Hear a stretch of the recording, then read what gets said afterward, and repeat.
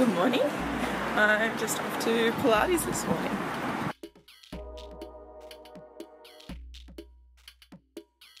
I just replanted um, some of my stuff into Coco Coir. This was soil and nutrient solution um, and basil.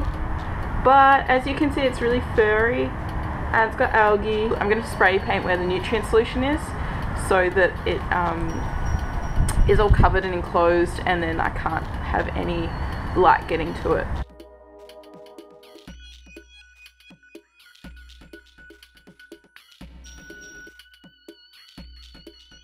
I'm now off to have coffee with my friend Peter Bowman, who I haven't seen in quite some time, so I'm pretty excited to catch up with him. It's good to see a smiling face.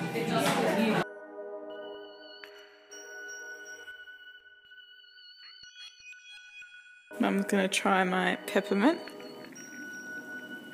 So this is some lettuce that I harvested this morning.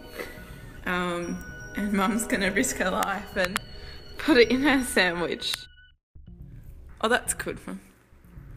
Sorry. Is it any good?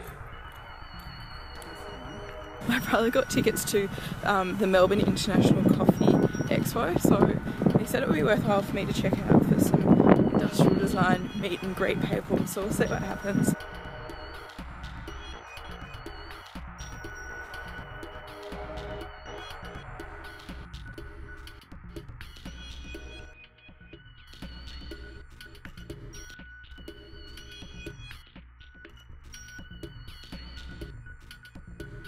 I think I'm coffeeed out now. I've just been looking at um, the expo. It was a good fun. Um, bumped into some work people as well, which was nice.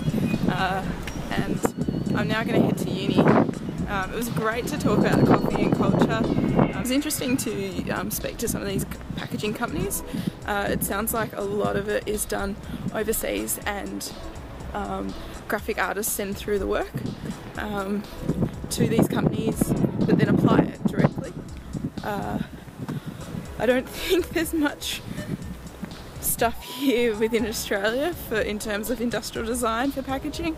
I think I'm pretty fortunate where I am working at the moment um, and having that opportunity to work in such a big business. Cool thing about going to a coffee expo, really hot guys with moustaches and beards. Really hot guys. Back at uni and I'm gonna do some work and have some dinner here and hang out with some uni people. Kirby, my dinner date.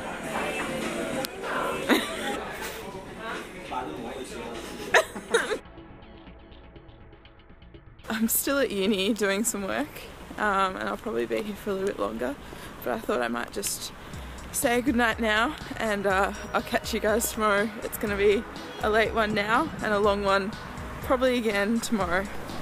Bye!